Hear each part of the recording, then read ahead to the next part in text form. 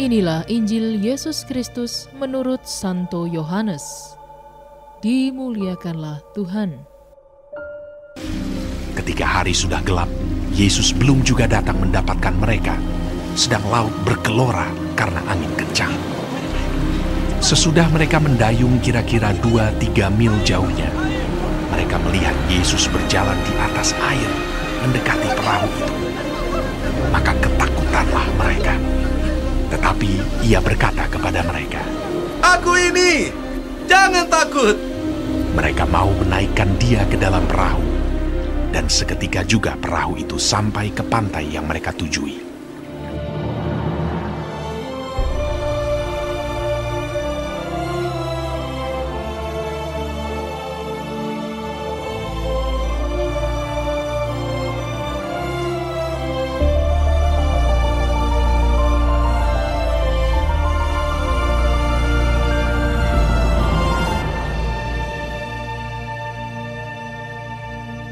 Demikianlah Injil Tuhan.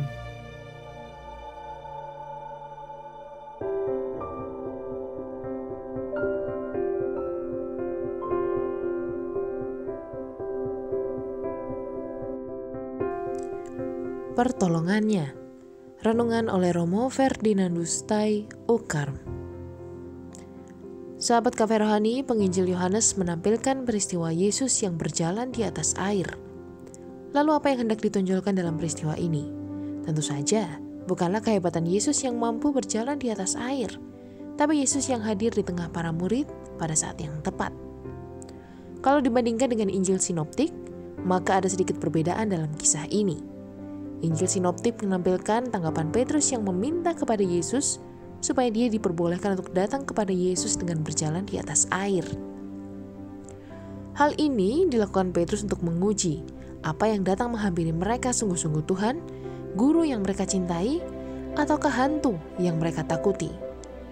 Sahabat kafe rohani, pesan penting yang bisa kita renungkan dalam kisah ini adalah bahwa Yesus hadir pada saat yang tepat – Kadang kita menganggap Tuhan meninggalkan kita, padahal pertolongan Tuhan datang di waktu yang tepat.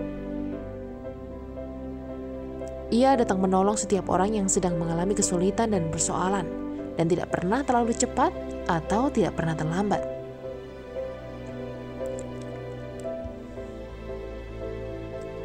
Satu hal yang perlu juga kita sadari, bahwa bisa jadi saat yang tepat menurut Allah itu berbeda dengan kita Mungkin ketika kita menghadapi persoalan dan kesulitan, kita mengharapkan Tuhan datang untuk membebaskan atau meringankan persoalan dan kesulitan kita. Atau mungkin saja kita tidak mendapatkan dan merasakan kehadiran Tuhan. Tapi satu hal yang harus kita yakini, bahwa Tuhan tidak pernah dan tidak akan meninggalkan kita berjuang sendirian. Ia selalu hadir dan memegang tangan kita supaya kita bisa melalui setiap gelombang persoalan dan badai kehidupan yang melanda. Selamat menikmati menu hari ini.